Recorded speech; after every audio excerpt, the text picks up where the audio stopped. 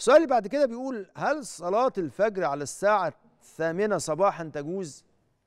آه في ناس بيحصل عندهم حاجة غلط إن هو لو ما صلاش الفجر وصحي الساعة 8 يأجل صلاة الفجر لليوم اللي بعده لما يصحى صلاة الفجر لا هي صحيح صلاة الفجر كده خرجت عن وقتها لكن هو يعمل إيه؟ آه لا يصلي الوقت يصلي الفجر يصلي الفجر يعني إيه؟ صلاته ستكون صحيحة.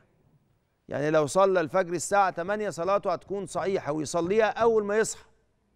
يعني صلاة الفجر يصليها أول ما يتيقظ. وما يكونش هو متعمد إن هو يترك يعني بننصحه إن هو ما يكونش متعمد إن هو يترك صلاة الفجر. لكن إذا هو استيقظ يصلي الفجر أول ما يستيقظ. ما يأجلهاش بقى لغاية لا يصلي الفجر أول ما يستيقظ. ليه؟ لأن هو كده بيصلي الفجر بعد وقتها فلازم يصليها في وقت لازم يصليها. صحيح صلاة الفجر هتظل يجوز إن هو يصليها إلى وقت صلاة الظهر لكن الوقت وقت الاختيار والوقت اللي لازم يصلي يصلي فيه الفجر هو الوقت قبل شروق الشمس.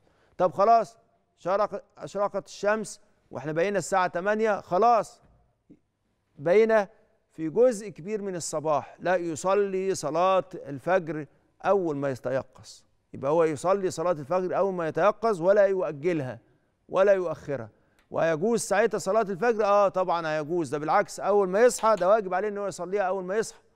يعني واجب عليه إن هو يصليها وما يأخرهاش بعد كده. يعني أول ما يصحى يجب عليه إن هو يصلي صلاة الفجر أول ما يصحى.